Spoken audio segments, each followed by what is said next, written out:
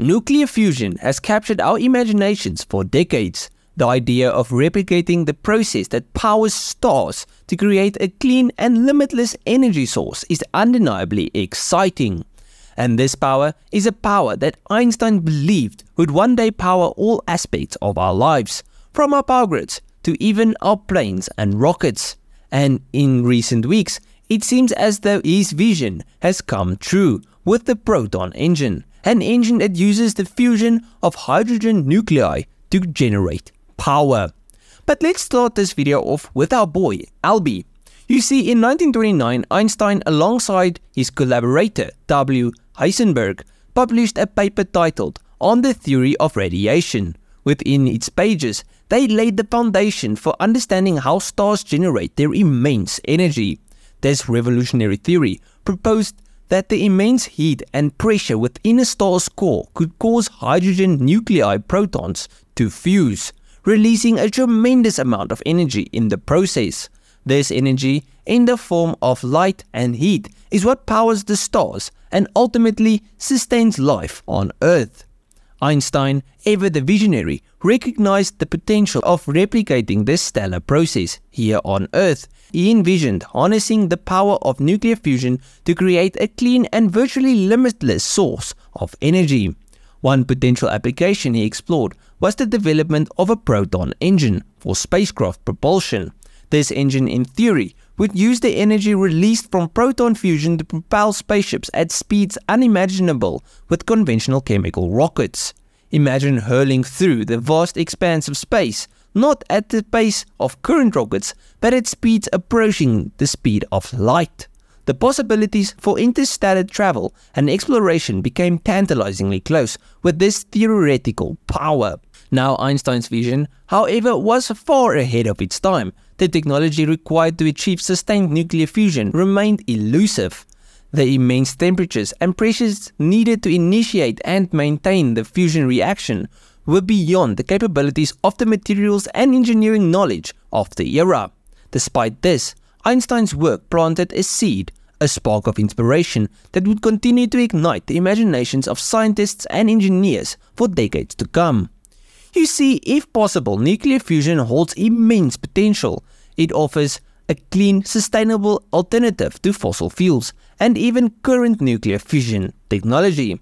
However, achieving sustained fusion is a complex scientific and engineering challenge. Scientists haven't yet built a functional fusion reactor, let alone miniaturized versions to power vehicles or spacecraft.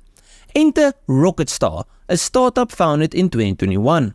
Now their goal since day one was creating a nuclear fusion propulsion engine now Rocketstar's design is based on proton fusion of hydrogen nuclei through a funnel-shaped magnetic field. The protons are injected into the wide end of the funnel and then compressed as they approach the narrow end, reaching extremely high temperatures and densities as they are funneled through. This fusion releases large amounts of energy that is converted into a plasma jet directed outwards at high speed. This energy provides thrust to rockets without the need for chemical propellants.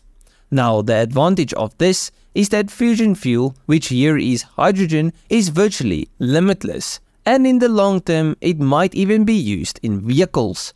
By the way, the thumbnail and how this engine would actually look is completely different. Sorry for the clickbait, but my channel is mostly car related, so this probably wouldn't get any clicks if I'd put in the real engine. But here's how the engine would theoretically look if it was possible to build. So yeah, here's a picture. Let me know if you thought I made a mistake and I should have used this rocket instead of the engine I did use. Anyways, if this works, this seems amazing. But here's the question, does it work? Well, as Rocketstar themselves say, the project is in its very early stages and a working prototype does not yet exist. And according to mainstream science, a working prototype wouldn't be possible. You see, the primary hurdle in achieving nuclear fusion lies in replicating the conditions found within a star's core.